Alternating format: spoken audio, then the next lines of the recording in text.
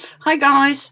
Today it will be an art journal page and guess what? In an art journal, yeah, I'm I have this thing since I don't know 10 years or so and you, most of you know me I really prefer to work sorry on loose pages because it gives me more freedom so but every now and again I will do it now. Uh, I have to get that uh, filled. And yeah, so I'm what I do here. I um, do a paper, oh, paper page transfer, and I use um, medium gel medium. It is, and I um, put the book pages on top. Let them dry. They need to be dry. Then I peel everything loose off and I rub the surface off with my fingers. A bit of water, wet my finger, and then rub the surface off. So what you will see then, when everything's rubbed off, is actually the other side. So that's why the words are mirrored. Hallo ihr Lieben, ich werde heute mal in einem Art Journal arbeiten. Haha. Ja, mache ich so selten. Ich habe dieses Ding schon so lange und ich muss das mal machen. Ihr meisten von euch wissen ja, dass ich dass ich es einfach liebe, auf äh, losen Seiten zu arbeiten. Es gibt mir so viel mehr Freiheit. Aber naja, gut, hier habe ich jetzt erstmal ein, ähm, so einen Transfer gemacht mit, mit Buchseiten, habe die mit einem ähm, ähm, soften Gelmedium äh, draufgeklebt.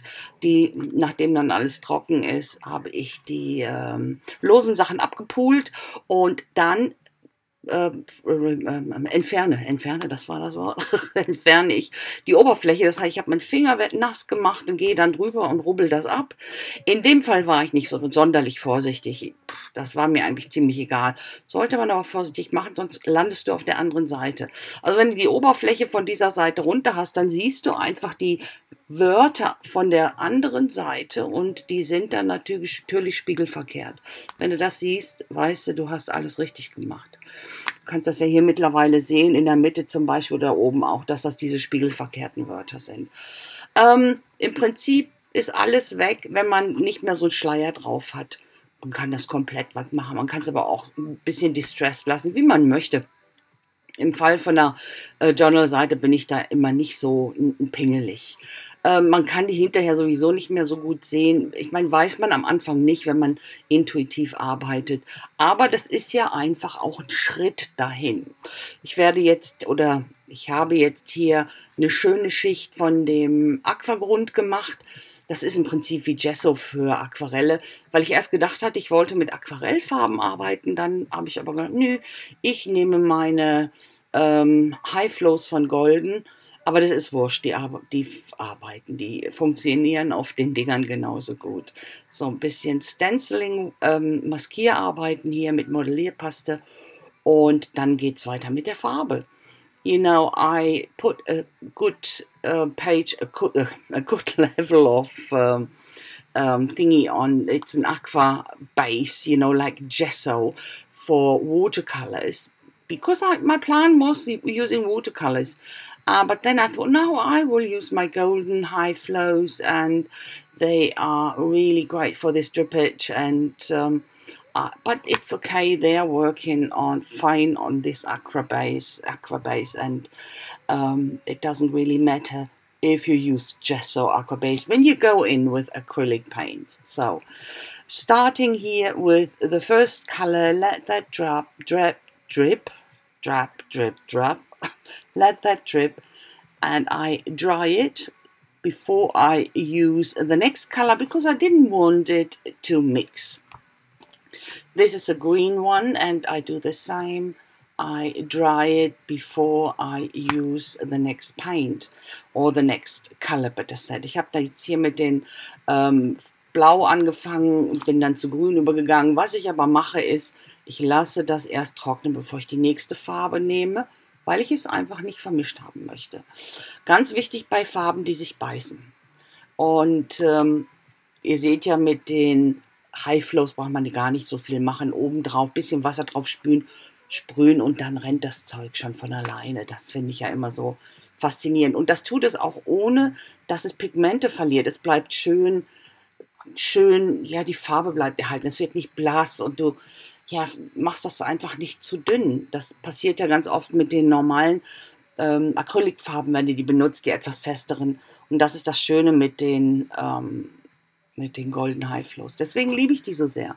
So, die dritte Farbe, die ich jetzt hier reinbringe, das ist so eine, ja, das, von was für einer Firma ist denn das? Das weiß ich gar nicht. Das ist Createx, heißt die. Das ist eine Airbrush-Farbe. Da fand ich einfach die, dieses, ja, Pink so schön. habe ich gedacht, komm, das benutzte. Habe ich aber mit dem Pinsel angegeben, weil ich eben hier und da äh, Stellen einfach überdecken wollte. Jetzt gehe ich mit einem alten schwarzen Inkpad drüber.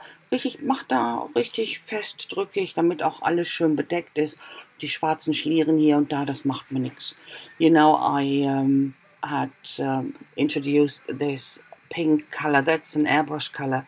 And I used a brush to do so because I wanted to have some areas controlled, covered. So, and then I used an old ink pad, um, a black old ink pad, ink pad to go over the texture, and I really press hard, and I didn't mind this uh, black marks everywhere. I quite like it.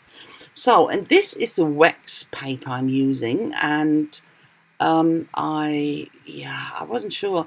You can see this this butterfly on the right, and my initial idea was to use it, but at the end I don't. So, um, but what I do here to distress it even more, I tear this paper in stripes and I will put it down like this, but not before I haven't stapled it.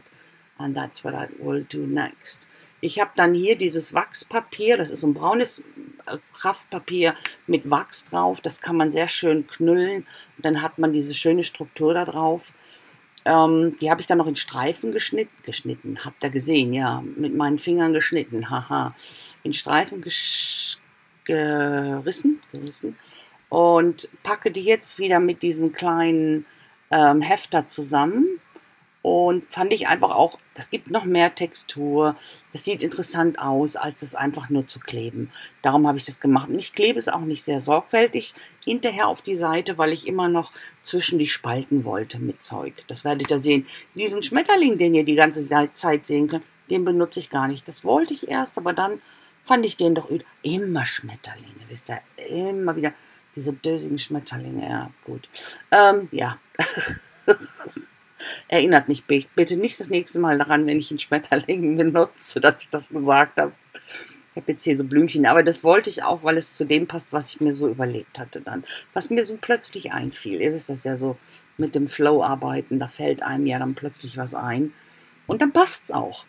You know, I um, used this attacher, you could see that, and I uh, will glue the stripes down very loosely because I want to be able to put these little flowers into the gaps and squeeze them in. You will see later that it will be much, much more. I wanted to put them only on the craft paper, this um, wax craft paper, but then I start from the bottom and just a few drops here and there.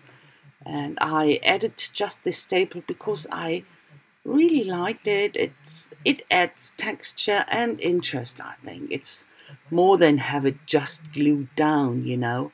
So and uh, when I finished putting my flowers in, I thought, hmm, it's it's um, definitely not enough.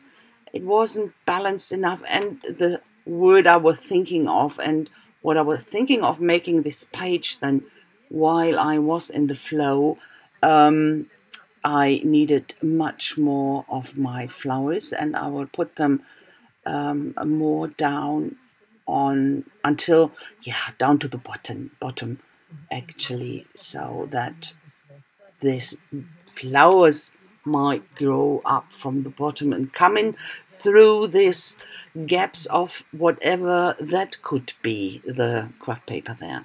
So and um, that is yeah because I thought up this, not thought up the word, but that was the word was what came to my mind, and uh, that's why I needed more of the flowers and let them grow, grow, grow.